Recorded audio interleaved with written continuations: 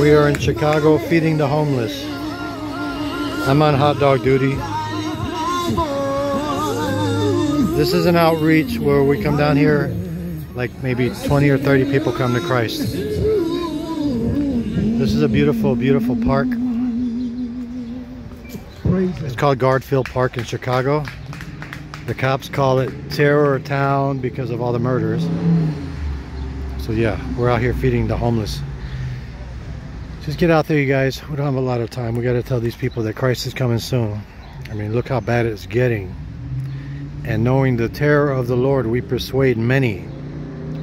We persuade many to come to the kingdom. Here's my shirt. It's such a blessing and an honor to be before you all on. We are the Lord's hands. We are His feet. I already prayed for somebody for healing.